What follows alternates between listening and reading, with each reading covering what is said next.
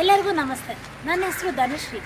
ನಾನಿವತ್ತು ಒಂದು ಸ್ಟೋರಿ ಹೇಳ್ಬೇಕಂತ ಅಂದ್ಕೊಂಡಿದ್ದೀನಿ ನಾನು ಫೋರ್ತ್ ನಮ್ಮ ನಮ್ಮಮ್ಮ ನನ್ನ ಒಂದು ಫಂಕ್ಷನಿಗೆ ಕರ್ಕೊಂಡೋಗಿದ್ದೆ ಫಂಕ್ಷನೆಲ್ಲ ಮುಗಿಸ್ಕೊಂಡು ಬರಬೇಕಾದ್ರೆ ಅಲ್ಲೊಂದು ಜಾದು ಕಾರ್ಯಕ್ರಮ ನಡೀತಾ ಇತ್ತು.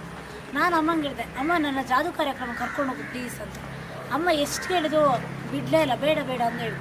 ಆದರೂ ಆಗೋ ಈಗ ಏನೋ ಮಾಡಿ ಹೋದೆ ಜಾದು ನೋಡಲಿಕ್ಕೆ ಜಾದು ಎಲ್ಲ ನೋಡ್ತಾ ಇದ್ದೆ. ಅಮ್ಮ ಹೇಳಿದರು, ಅದೆಲ್ಲ ಸುಮ್ಮನೆ ಮಾಡ್ತಾರೆ ನಿಮ್ಮನ್ನು, ನಂಬಿಸ್ಲಿಕ್ಕೆ ಅದೆಲ್ಲ ನಂಬೇಡ ಅಂತ ನಾನಾದರೂ ನೋಡಿದೆ ಅದರಲ್ಲಿ.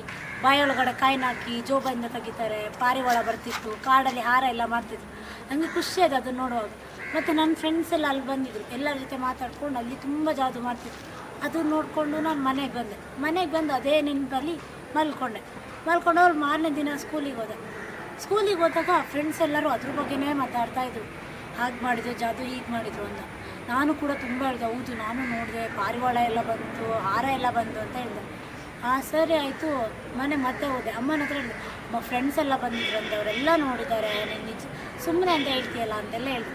ಸರಿ ಆಯಿತು, ಮತ್ತೆ ಮಾರನೇ ದಿನ ಸ್ಕೂಲಿಗೆ ಹೋದಾಗ ಫ್ರೆಂಡ್ ಬಂದು ಹೇಳಿದ್ರು ಏ, ನಮ್ಮ ಅಕ್ಕ ಕೂಡ ಜಾದು ಟ್ರೈ ಮಾಡಿದ್ದು ಅವಳಿಗೂ ಕೂಡ ಬಂತು.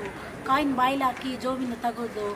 ಹಾರ ಎಲ್ಲ ಮಾಡಿದ್ದು ನಾನು ನೋಡಿದೆ, ಹಾಗೆ ಹೀಗೆ ಅಂತ ಹೇಳಿದ್ರು ನನಗೂ ಅನ್ನಿಸ್ತು ನಾನು ಯಾಕೆ ಒಂದ್ಸಲ ಟ್ರೈ ಮಾಡಬಾರ್ದು ಅದನ್ನ ಅಂತ ಮನೆಗೆ ಹೋದೆ. ಅಮ್ಮನೂ ಇರಲಿಲ್ಲ, ಅಪ್ಪನೂ ಮನೇಲಿ ಇರಲಿಲ್ಲ. ಎಲ್ಲ ಹೊರಗಡೆ ಕೆಲಸ ಮಾಡ್ತಾ ಇದ್ರು. ನಾನು ಅಜ್ಜಿ ಅಜ್ಜಿ ಜೊತೆ, ಅಜ್ಜಿ ನಿಂಗೆ ಮ್ಯಾಜಿಕ್ ತೋರಿಸ್ತೀನಿ, ಬಾ ನಾನು ಜಾದು ಮಾಡ್ತೀನಿ ಅಂತ ಹೇಳಿ ಕರ್ಕೊಂಡೋಗಿ ಕರ್ಕೊಂಡೋಗಿ ಕೂರಿಸ್ಕೊಂಡೆ. ನಾನು ಏನೇನೋ ಮಾಡಿದೆ, ಅಜ್ಜಿ ನೋಡಲಿಲ್ಲ. ಈ ನೀನು ಸುಮ್ಮ ಸುಮ್ಮನೆ ಮಾಡ್ತೀಯಾ ಅಂತ ಹೇಳಿದ್ರು ಆಮೇಲೆ ಫ್ರೆಂಡ್ ಹೇಳಿದ ನೆನಪಾಯ್ತು.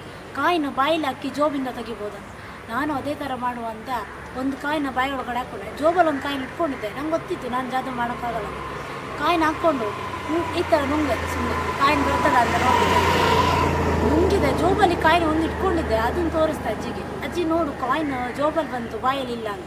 ಕಾಯಿನ್ ಏನು ಮಾಡಿದ್ದೀನಿ ನಾನು ಬಾಯ ಒಳಗಡೆ ನುಂಗಿಟ್ಟಿದ್ದೆ ಅದು ಕಾಯಿನ್ ಅಜ್ಜಿಗೆ ಹೋಗಿ ಹೇಳ್ತಿದ್ದೆ. ಅಜ್ಜಿ, ನಾನು ಕಾಯಿನ್ ನುಂಗಿದ್ದೀನಿ, ಈಗ ಎಂತ ಮಾಡೋದು ಅಂತ. ಆಮೇಲೆ ಅಜ್ಜಿ ಏ ನಿಂಗೆ ಸುಮ್ಮನೆ ಹೇಳ್ಬೇಡ ಹೋಗಾಚೆ ಅಂತ ಬಜ್ಜಿ ಆಮೇಲೆ ಅಮ್ಮ ಬಂದರು ನನಗೆ ಭಯ ಶುರುವಾಯಿತು. ನಾನು ಸತ್ತೋಗ್ಬಿಡ್ತೀನಿ ಏನೋ ಕಾಯಿ ನುಂಗಿದ್ದೀನಿ ಅಂತ. ಅಷ್ಟರಲ್ಲಿ ಅಮ್ಮನ ಹತ್ರ ಹೋಗಿ ಅಮ್ಮ, ನಾನು ಕಾಯಿ ನುಂಗಿದ್ದೀನಿ ಅಂತ. ಅಮ್ಮ ಅಪ್ಪಂಗೆಲ್ಲ ಫೋನ್ ಮಾಡಿ ಹಾಸ್ಪಿಟಲ್ಗೆಲ್ಲ ಕರ್ಕೊಂಡೋಗಿ ಮತ್ತು ಡಾಕ್ಟ್ರು ಎಲ್ಲ ಬೈದು, ಮತ್ತೆ ಕಾಯಿನ್ ತೆಗೆದು. ಹಾಗೆ ನಂದು ಜಾತಿ ಕತೆ